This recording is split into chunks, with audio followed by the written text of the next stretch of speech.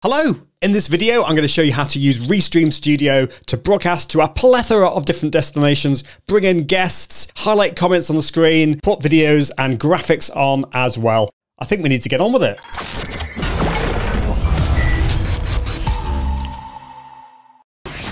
Hello, my name's Ian Anderson Gray from the Confident Live Marketing Academy. Restream Studio is a web-based live video streaming tool, which is part of Restream. Restream has lots of different tools for live streamers, including the ability to multi-stream, a scheduler, a chat feature, analytics, and more. One cool thing with Restream is there is a free plan. So if you want to dip your little toe in and play around with it, you can. And actually, it's really, really generous what they give you.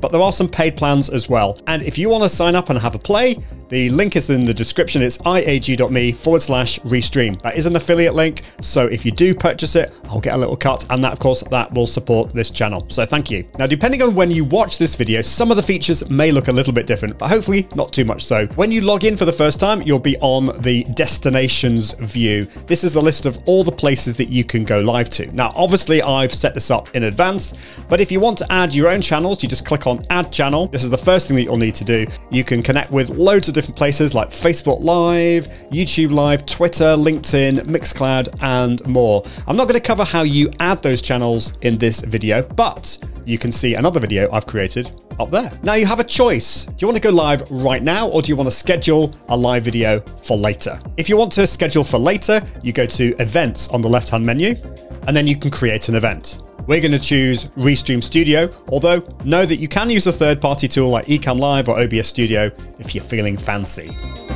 Then you put in your title. Then you put the date and time you want this to be scheduled out on. Note with Facebook and LinkedIn Live, you can only schedule up to a week in advance. You then got the option to upload a thumbnail image. I highly recommend this. Make sure you set it at 1920 times 1080 for optimal results. I'm going to reuse one I made earlier. Let's click next. Then just choose which destinations you want to go live to. I'm going to click on Twitter, click on create event, and then I'm done. And if you want to have a guest on your show, all you need to do is copy this link here and give them it, and then they can come onto your show really easily. Your guest also has the ability to broadcast this to their channels if you have pairs switched on. And if you want to know a little bit more about Restream pairs, it's really exciting. Just click on this video here. So when you're ready to go live, you just click on enter studio and you can enter the studio. But I want to show you how you can go live straight away with Restream Studio. If you don't want to schedule an event in the future, instead of clicking events, you just click on live studio on the left. So we're entering the studio. You have the option to set your camera and your microphone. You can mute yourself by clicking the microphone button or M shortcut or the camera, you can click on V for that. But let's click on the cog. Loads of options here. I can choose which camera I want. So I could choose my main camera or my Logitech C920 camera. Depending on which plan you have here, you'll have different options. On some of the more expensive plans, you have full high definition. Otherwise, you can just do high definition of 720p. And normally you want the camera set the way it is, but if that does your head in, you can mirror the camera like that, which is kind of how I look. You'll also want to set the audio input as well. So this is your microphone. Just choose which microphone you want. And you can always test the levels by looking at the meter there. Audio output, that's where you want the sound to go. So that'll either be your headphones or your speakers. If you're wearing headphones, you don't need to worry about echo cancellation. But if you're not wearing headphones, I do recommend wearing headphones, but if you're not, then you want to click on echo cancellation. That will just get rid of any potential echo on there. And noise suppression will just get rid of any background noise that you might have going on. Some of the advanced settings, if you're a musician or music's really important to you, you can switch on stereo input. And for podcasters especially, you might want to click on high resolution audio and auto gain control basically just makes sure you're not going to be too high or too low. Green screen, I'm not going to cover that now. I've got another video on how you use green screen in Restream. That's quite a mouthful, isn't it? Green screen Restream. Say that a few times. And do check out the shortcuts. These are quick and easy shortcuts to do lots of different things in Restream Studio. And you can even connect this with your Stream Deck. Good idea putting your name in there, particularly if you have lots of guests on the show. Let's join the stream. Now don't worry, you're not live yet. I'm not going live anywhere, haven't chosen any destinations, but now we're in Restream Studio. This is the live window here, so this is what everyone will see watching your stream. And on the left-hand side, we've got the thumbnails of you and your guests. So if you have guests on your show, you'll be able to see them here and any other sources that you have, which I'll come on to in a minute. You can check and uncheck what you want on the screen just by clicking on the blue radio button at the top. And if you want to invite guests, you can just click on the invite guests button. This will give you the link that you give out to your guests. And of course, you can use Restream pairs with that as well. If you don't want that, you just uncheck it. So let's go over to the right hand menu here. We've got chat, captions, and graphics. And if you have a number of different shows that you want to use with Restream Studio, you can create brand folders. So I've got a number of different shows that I do. I'm on the Winning with Live video, but I could click a new brand and within each show you got can have different colors, different graphics, it's really, really cool. So there are different themes. You can have the default and news and rounded, and I'll show you those different ones in a minute. And I've put in my brand colors there. You've even got a handy color picker here. So if you want to change it to the color of my shirt, you can. Logo is the logo on the top right of your screen. So the default one will look like this. Let's get my finger right. or you can use your custom one as well. You then got loads of options for overlays, fancy holiday one there. And if, if you want to cover the whole screen, you can. That's quite useful at the beginning of a show if you want to start off with your thumbnail, you can do it that way. You can also use lots of video clips, either add your own or use some of the ones built into Restream. Got some countdowns. And you can even add your own.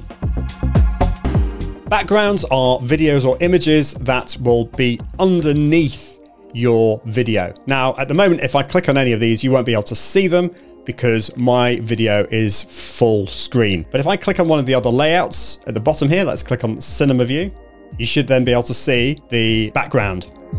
Restream has some cool video backgrounds at the top, and you can see this with the little video icon there. Or you've got some static images, and of course you can upload your own image there as well. Now, captions are titles that you can add to break up your show and to basically demonstrate what you're doing on screen. So it could be a link like that, or it could be your name. And by the way, if you go to graphics again, you can tweak these, the how they look. So I quite like the news theme, which will look like that. And if you want to add more, then you just go down to the bottom and enter your primary text and your secondary text.